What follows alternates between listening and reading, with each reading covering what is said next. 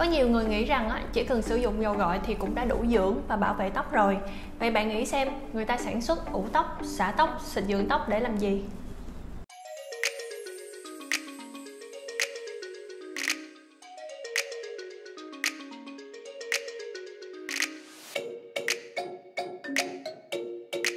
Chào các bạn, mình là Mỹ Oanh. Chào mừng các bạn đã quay trở lại với kênh youtube của siêu thị mỹ phẩm. Để có được mái tóc chắc khỏe thì dầu gội và dầu xả ảnh hưởng khá lớn trong công cụ chăm sóc tóc hàng ngày.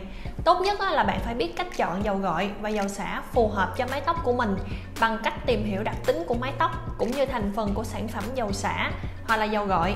Vì vậy ngày hôm nay chúng ta cùng Oanh tìm hiểu cách để chọn lựa một loại dầu xả phù hợp nhé.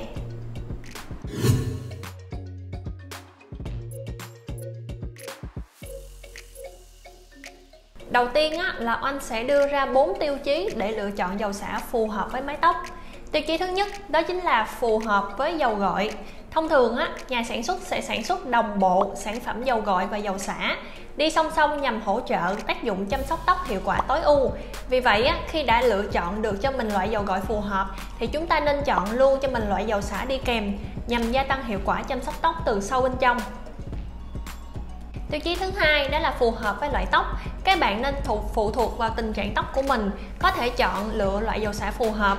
Bởi sản phẩm dầu xả cũng được sản xuất theo từng tính năng khác nhau như là dưỡng ẩm cho tóc nè, gỡ rối, giữ nếp tóc, làm tóc mềm mượt, với tóc mỏng á, thì chúng ta nên chọn cái loại dầu xả chứa ít dưỡng chất để tóc có thể hấp thụ đủ không dư để tránh làm tóc bớt, bớt dính. Thậm chí á, có thể gây ra tình trạng da đầu nhờn gầu và ngứa.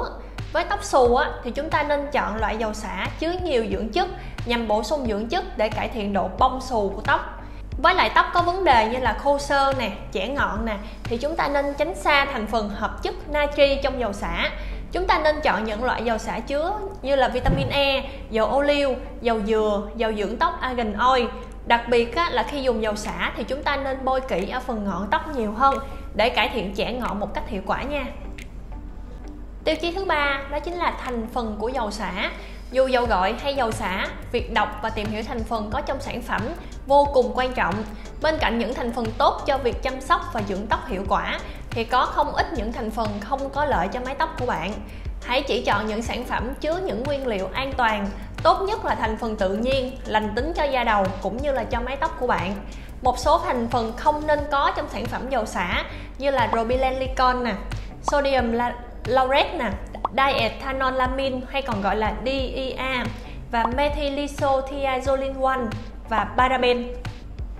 Tiêu chí cuối cùng đó chính là thương hiệu uy tín. Trên thị trường thì có rất là nhiều thương hiệu sản xuất dầu xả việc lựa chọn nhãn hàng phù hợp cần phải căn cứ vào phản hồi từ người dùng, cũng như là chất lượng của sản phẩm một số yếu tố để đánh giá như là độ phổ biến, mức độ hài lòng, thông tin phản hồi tốt để có thể lựa chọn cho mình một sản phẩm dầu xả tối ưu.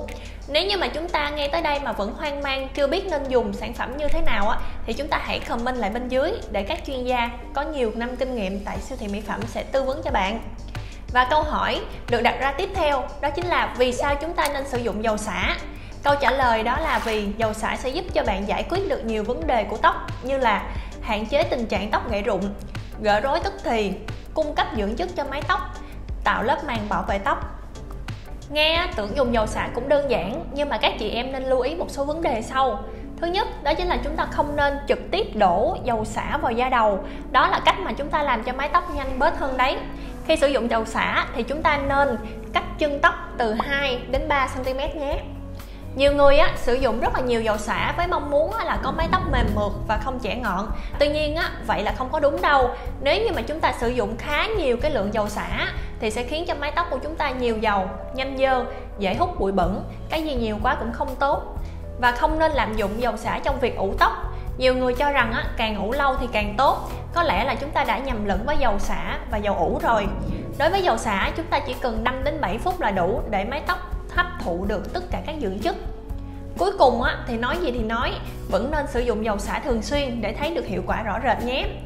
Để có được một mái tóc mềm mượt óng ả thì chúng ta nên chọn và sử dụng dầu xả đúng cách để đạt được hết kết quả như mong đợi nha. Nếu thấy những video chia sẻ vừa rồi hữu ích á, thì đừng quên like và subscribe kênh youtube siêu thị mỹ phẩm. Chào tạm biệt mọi người!